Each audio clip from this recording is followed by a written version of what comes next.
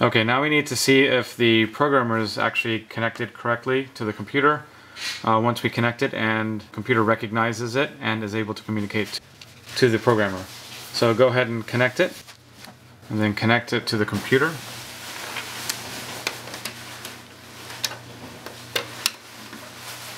You should see the two lights light up. You can also connect the SPI cable.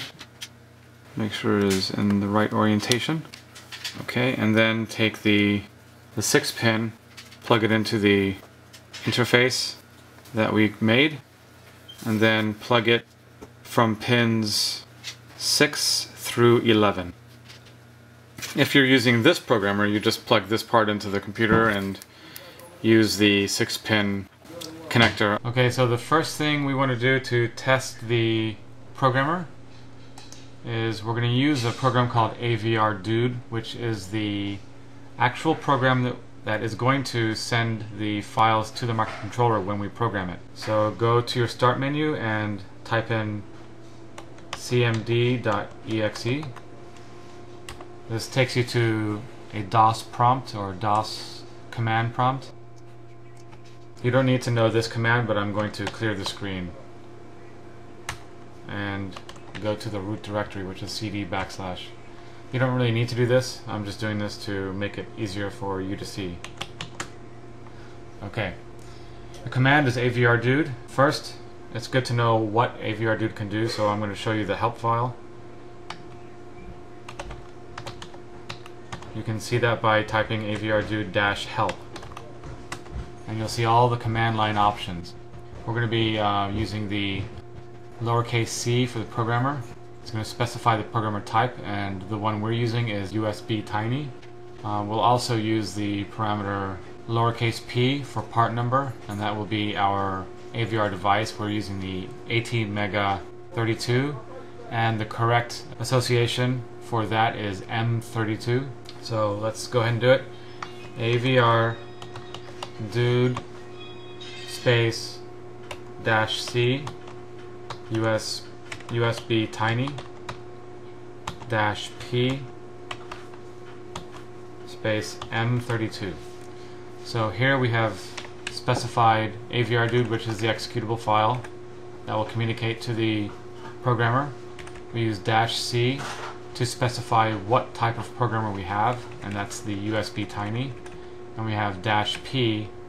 These are all, by the way, these are all lowercase. This is um, case sensitive is there are parameters that take the uppercase that means something completely different. So this is dash P lowercase, M32 is our microcontroller type. Press enter. Looks like we were able to do it successfully. The AVR device is initialized and ready to accept instructions. It was able to uh, do a reading. Took 0.03 seconds um, it was able to determine the device signature, which is the the microcontroller. Uh, the fuses are okay, and then it didn't give us any errors. This gives us the green light to go ahead and program the chip. So, so we know our programmer is working. We need to actually write a program now. We will write a program so we can see if the program gets transferred to the microcontroller. I'm going to write a small program. We are going to take an LED which is this green little device. An LED is a light emitting diode. We're going to take one of these pins from the microcontroller. I'm going to take this pin here, which is in port B, and it is pin number zero. Port B consists of this pin, this pin, this pin, this one, this one. It's one, two, three, four, five, six, seven, eight. So port B consists of that many pins from 0 to 7, the first 8 pins. And we'll take the port B at pin 0, we're going to use that one to light up the LED. And the LED needs power to light up. I'm going to draw a symbol for the for the LED. on this side is the plus, and on this side is the minus. So what we need to do is we need to plug in the LED. On the minus side, plug it into port B at pin 0. Okay? And we also have to get power somewhere. And the power is going to come from the computer with our programmer. Our programmer supplies power. Generally, we won't be providing power from the computer. We'll be providing power from either the, the wall outlet with a, a wall adapter, or you'll be using batteries to, to power the chip. But right now, our programmer has power in it. It has the power through VCC and ground. So we'll be using those two pins. VCC is on 10, on pin 10, so count 1, 2, 3, 4, 5, 6, 7, 8, 9, 10. And ground is right next to it on pin 11. So we'll just put a little plus there. And then ground is minus. So what we need to do is wire this LED from this pin to this pin on the negative side. The VCC will already have power, so since the chip is getting power, it will be able to provide power on this pin when we tell it to. To determine the, the plus side and the minus side of the LED, um, you can go by looking at the, the leads that are on the LED. LEDs have two leads and one lead will be longer than the other when you purchase it and the longer lead will be the plus side. The shorter lead will be on the minus side. So let's say this one was the shorter side. This would be the minus. This if this is a longer lead, it would be the, the plus. There's another way to tell. Some LEDs come with a flat side to the LED. On this one it's on this side and if you see the flat on the side of a particular lead, that lead will be negative. So on this one, the flat is here. This lead is negative, and this lead is positive. This is the anode, and this is the cathode. If the LED doesn't have a flat, then you're going to have to rely on the length of the leads.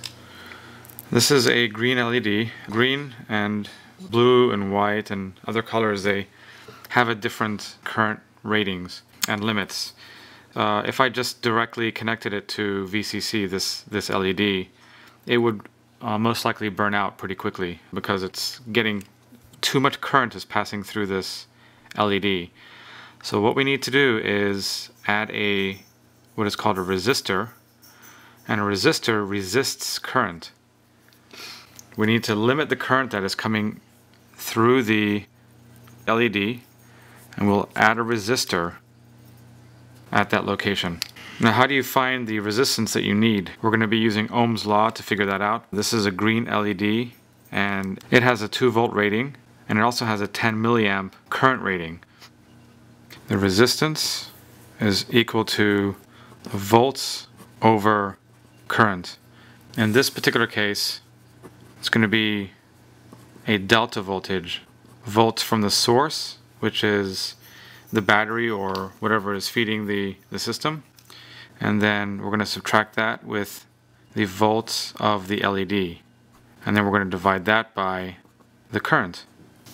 Okay, so the volts is 5 volts that's coming through the system minus the 2 volts for the LED and that's going to be in amps it's going to be 0.01 amps which is 10 milliamps Okay, so resistance equals 3 divided by 0.01, which is equal to 300. 330 is a common number for ohms. Generally 300 isn't made and 330 is. You can also use something higher than this. You don't have to use 330, you can use a higher resistance. The only problem is the LED will become more dim as you go higher in, in, in resistance. So now we need to build the circuit that will resemble the drawing that we made earlier. The first thing is from the port B pin 0, we're going to put a wire at that location. All of these points in a line are tied together. and they're all connected. Now we're going to take this to an empty area to this point. Okay. Secure. So what I need to do now is, because the LED needs a resistor, I'm going to put a resistor one end, one side of it here, and then the other side will be at the next tie strip. So we're going to put the 330 ohm resistor.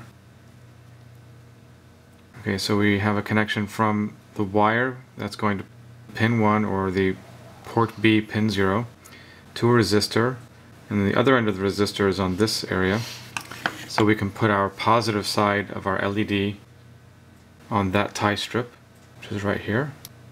And then the other side of the LED which is ground I'm going to put it to this ground tie strip. This tie strip from negative here the entire strip along the board is all tied together. So so when you plug in your power supply you would plug in your negative here and your positive here and those entire strips would have positive and this entire strip would have negative. In this case we are getting the power from our programmer. This is the ground or negative and this is our positive. Because we don't need the positive in this strip we're lighting it up when we apply voltage to this pin. But we do need to get a negative the ground to this strip. So we need to put a wire from the ground on the pin to this strip. And the ground is pin 11 and we'll just go we'll just take it to this negative strip. So this completes our circuit and now we can start programming